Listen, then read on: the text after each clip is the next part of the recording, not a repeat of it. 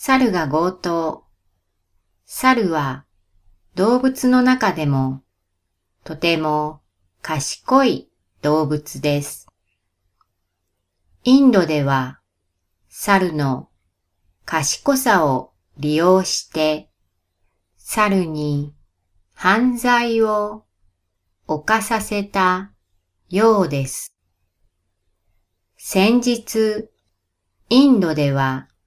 一匹の猿がある宝石店に入り、店内を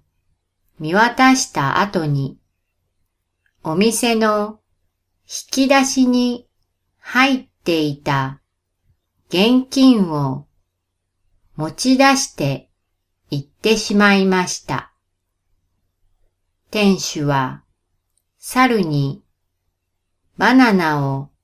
差し出しましたが、バナナには目もくれず、現金を持って逃げてしまいました。この店の店主によると、以前にも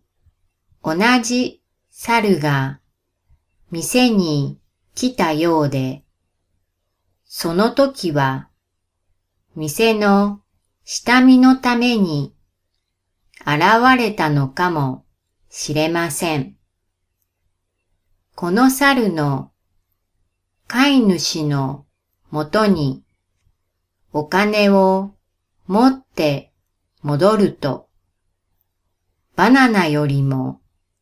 美味しいご褒美が待っていたのかもしれません。